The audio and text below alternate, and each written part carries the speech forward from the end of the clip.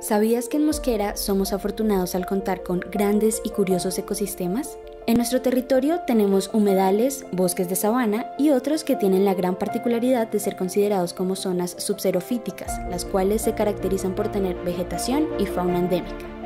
Allí las plantas tienen un porte bajo y cactus que viven sobre las montañas, junto con algunos musgos y líquenes, un lugar ideal para aves como los cernícalos americanos, búhos pequeños e incluso algunos mamíferos que se alimentan de la flora del lugar. Sin embargo, es muy susceptible, y el pasado mes de junio ocurrió algo que amenazó nuestro ecosistema, el fuego.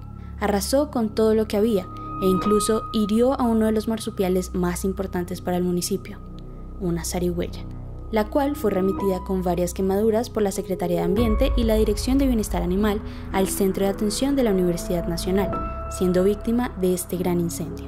Para todos los mosquerunos es un dolor inmenso perder tantas hectáreas de este increíble ambiente, pero decidimos realizar una inversión histórica para la conservación del ecosistema. Muy pronto, espera grandes noticias para el ambiente en nuestro campo de gigantes.